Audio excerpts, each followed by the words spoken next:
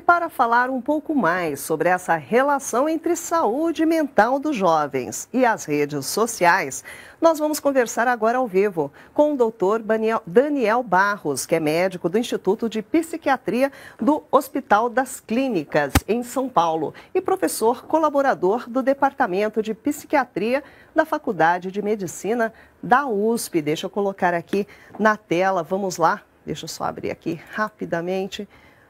Olá, boa noite, doutor. Muito obrigada pela sua participação aqui no nosso boletim. Muito boa noite. Boa noite, Marisa. Boa noite para todo mundo que está vendo. O prazer é meu. Doutor Daniel, eu queria começar perguntando né, qual é a importância não é, da ferramenta tomar atitudes assim para controlar o tempo de uso da plataforma. Eu acho que é uma coisa interessante, viu, Marisa, porque é, as, as, redes sociais, em geral, né, enfim, os aplicativos, de maneira geral, eles se alimentam da nossa atenção e do nosso tempo.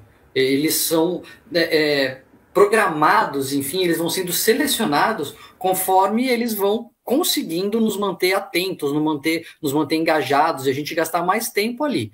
Então, é, é com imagina, milhões de usuários e milhões de aplicativos, isso vai tendo uma seleção natural e eles vão fazendo uma peneira, uma, né, vão fazendo peneirando ali os aplicativos e os testes, etc, e vão refinando até encontrar a coisa mais é, engajante que exista, né? E, então eles poderiam realmente transformar isso numa grande armadilha e que nos capte, é o que a gente vê muitas vezes, inclusive em quadros é, de, de, dependência mesmo da, da, da, internet. Agora, isso tem um, um, tiro que sai pela culatra, né? As pessoas começam a perceber isso, começam a desinstalar, começam a falar, nossa, estou perdendo muito tempo com isso, e eles param, e etc. Então eu acho que é bom para as pessoas, porque eh, senão não vai ter limite, né? A gente, a, a, ferramenta pode se desenvolver e se especializar a ponto de nos engajar completamente, eh, mas por outro lado é lucrativo para as empresas porque elas não estão fazendo isso só porque são boazinhas, elas estão fazendo isso porque, se não fizerem isso, a, gente vai acabar percebendo que está demais e vai acabar saindo, né? Como acontece muitas vezes. Então, enfim, é, é bom para as pessoas? Sim, mas elas não estão fazendo só por bondade, não. Eu acho que tem um cálculo muito bem pensado por trás dessa atitude. Tá certo, é, porque na verdade também depende de nós usuários isso, não é? Quer dizer, ela faz a sua parte ali para controlar um pouco, mas também depende muito do comportamento do usuário, não é isso? Depende, sem dúvida nenhuma. É como, uh, vou dar um exemplo da, da nossa indústria do alimento. É, a, gente pode ter a opção de comer melhor ou comer pior, né, de comer alimentos mais naturais ou mais industrializados, enfim, está na nossa mão. Só que existe um, um, um, desenho do mercado em que você tem mais disponibilidade de alimento industrializado, que o alimento industrializado é mais barato, é mais acessível e etc. Então, apesar de estar na nossa escolha, o desenho do nosso ambiente é feito no sentido de nos levar para determinada direção. É mais ou menos a mesma coisa. Né?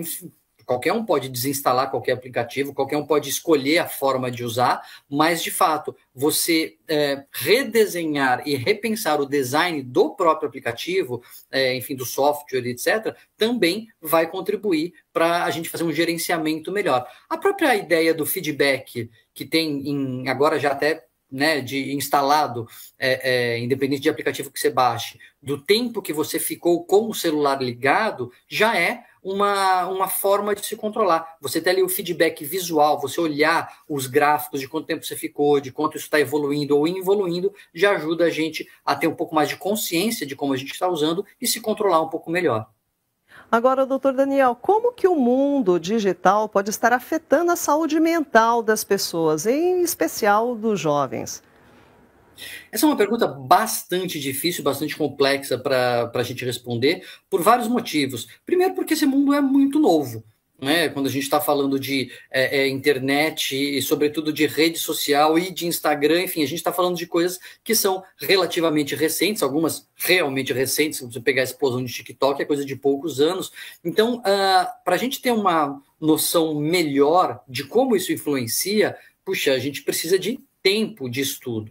Mais do que isso, a gente não consegue isolar esse estímulo. Né? Então a gente vai pegar é, mil jovens e vai deixar com acesso a, ao TikTok ou ao Instagram, e mil jovens não vai deixar, e a gente vai ver no tempo quantos que adoecem mais, quantos que, quantos que adoecem menos. Também é muito difícil de fazer isso.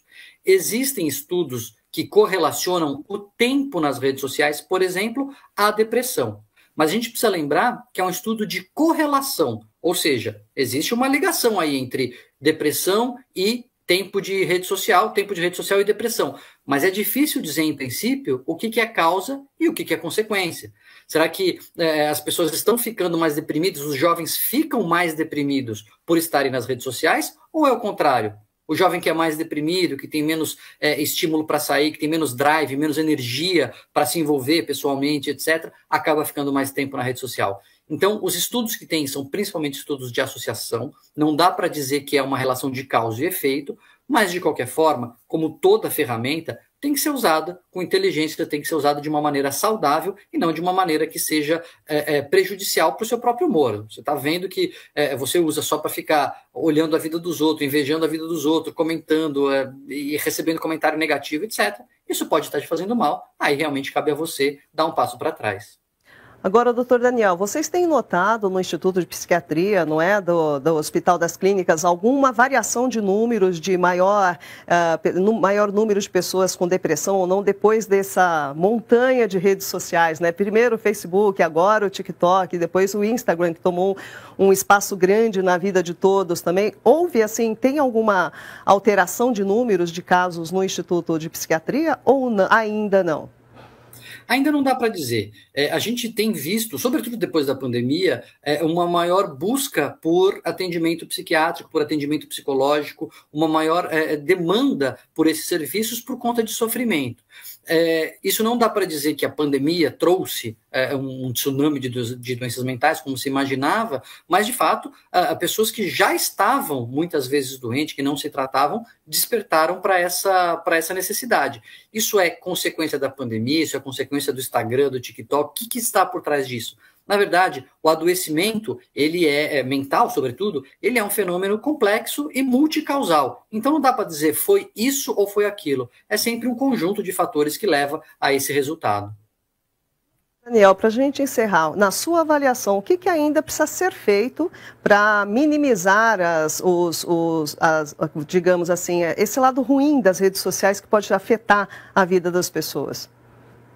Eu acho que o segredo é sempre informação, sabe, Marisa? Informação, transparência, a gente começar a, a enfim, fazer esses estudos e divulgar os resultados de estudos. Por exemplo, existe essa associação, é, a gente precisa prestar atenção nisso. Os, as próprias empresas, elas têm muitos dados que a gente não tem acesso. O quanto a gente pudesse ter de acesso a isso, de transparência, é, é, para poder sabe, peneirar ali e separar o que é mito do que é verdade, isso também ajudaria muito. E, claro, sempre discutir, estimular o diálogo. As redes sociais muitas vezes se prestam também a gente levar informação e discutir, discutir o, adoecimento mental, discutir o que são transtornos mentais, explicar para o jovem a diferença de sofrimento de doença mental. Então, eu acho que o segredo é a informação e a rede social é, ironicamente, ela pode ser um grande, uma grande ferramenta para a gente levar informação para essa moçada aí.